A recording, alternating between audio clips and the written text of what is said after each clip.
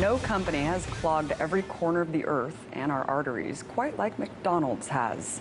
And if you were watching the Golden Globes, you may have caught the Golden Arches' latest ad campaign called Signs. It starts off by showing marquees outside of McDonald's restaurants displaying messages like God protect the USA. And even tastelessly exploiting tragedy with phrases like Boston Strong and We Remember 9 11 to sell fast food. It's a campaign many are calling opportunistic and trashy. But others have responded with, oh, that's really sentimental. McDonald's really cares about their communities. Except that next to Walmart, McDonald's is the second worst paying corporation in the country, according to 24 7 Wall Street. And just last month, the U.S. Labor Relations Board filed a complaint against the Golden Arches, accusing them of work violations. According to Reuters, complaints were filed in 78 cases claiming that McDonald's workers across the country were fired or intimidated for participating in union organizing and in a national protest movement calling for higher wages. Some of the company's horrific practices mentioned include not paying overtime, directly violating federal wage laws, not giving workers static hours or steady salaries, and even making them pay for and professionally clean their own uniforms. This is particularly ridiculous when you consider that most fast food workers are only making on average $18,000 a year. But no worries, McDonald's cares so much that it even came up with its own employee budget to help workers live comfortably. Step one on the budget get a second job.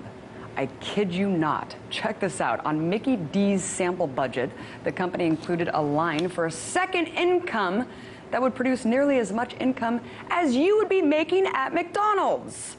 Oh, and did I say live comfortably? Because apparently this doesn't account for heating, as you notice by the big fat zero allocated for the basic amenity. Many of you may just be thinking that fast food jobs are temporary positions for students who depend on their parents for heat and shelter. But the reality is that two thirds of workers in the industry are between 20 and 54 years old, according to the Center for Economic and Policy Research. Meaning we're talking about adults who are not only supporting themselves, but their families. So, what happens when people are paid wages that don't even allow them to afford basic needs?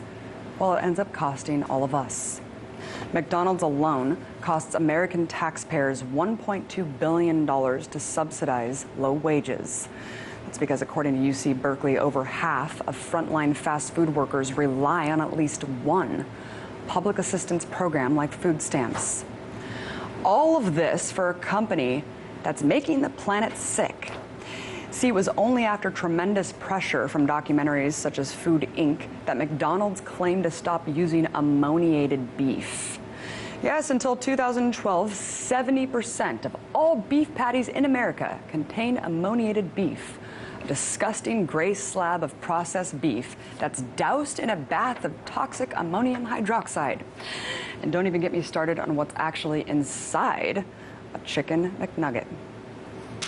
Mmm, yummy, it's McDonald's Chicken McNuggets. Chicken, water and salt, enriched flour, yellow corn flour, bleached wheat flour, baking soda, corn starch, wheat starch, modified food starch, dextrose, riboflavin, folic acid, spices, and thiamine mononitrate, which can lead to severe liver damage. Hot!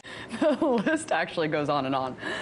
So you can't also talk about McDonald's without mentioning the fact that it's largest, it's the largest purchaser of beef and pork in the country and second greatest purchaser of chicken, thereby making it the largest contributor to the horrific practices of factory farming, thus climate change.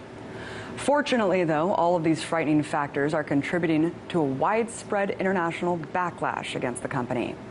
Its attempt to globalize has been thwarted in places like Bolivia, Iceland, and Jamaica, where the fast food giant has either been banned altogether or didn't quite catch on with the locals. Not to mention the fact that right here in America, millennials aren't attracted to the company anymore. Just last year, McDonald's profits fell 30%. And though I can go on and on, I'm going to stop here so that I don't get sued for McLibel, the same way that two UK activists were for simply distributing anti McDonald's pamphlets.